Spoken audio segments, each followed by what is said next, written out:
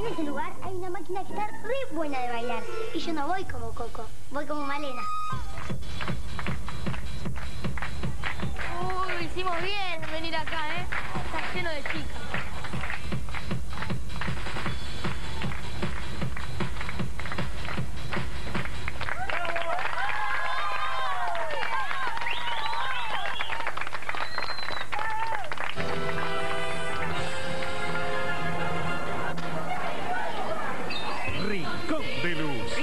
A las 6 de la tarde por Canal 9.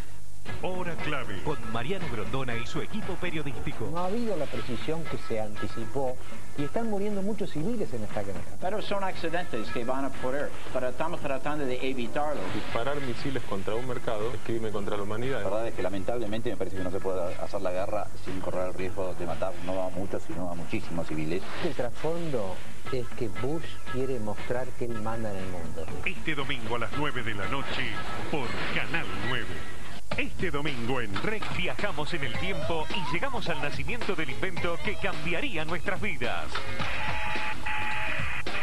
Recorremos los grandes éxitos del blanco y negro y llegamos a la era de la televisión color. He aquí la televisión en color. Un viaje emotivo del blanco y negro al color para volver a divertirse y conmoverse. Déjame en paz, soltame.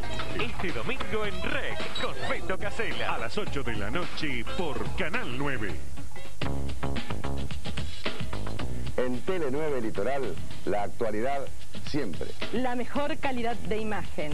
Con tres ediciones diarias y los flashes informativos, estamos siempre con ustedes. Muchos años nos avalan.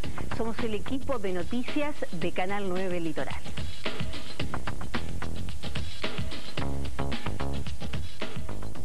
Cosas nuevas. ¡Pará, el estúpido!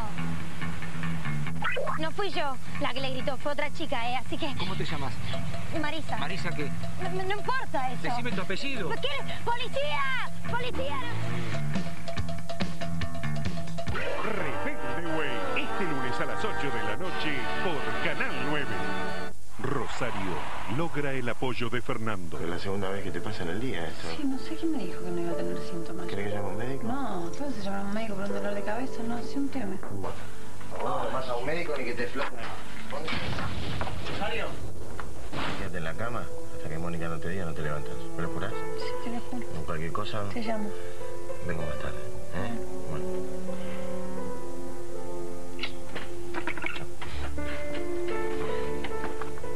Malandras. Este lunes a las 11 de la noche por Canal 9.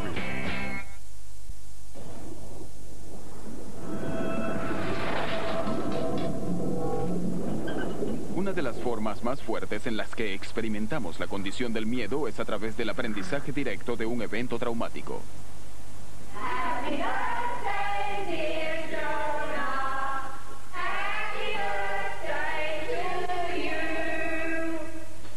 Ahí está Boggy. Cuidado con Boggy, que está molesto.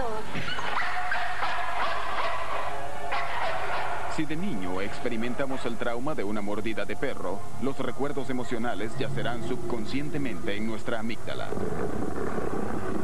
Los recuerdos atados a emociones fuertes son poderosos y duraderos. El doctor Ledoux cree que esto está relacionado con la presencia de niveles altos de la hormona adrenalina en momentos de mucha emoción, lo cual parece tener efecto en el fortalecimiento del proceso de la memoria. Vamos, vamos, entren allí cierren la puerta.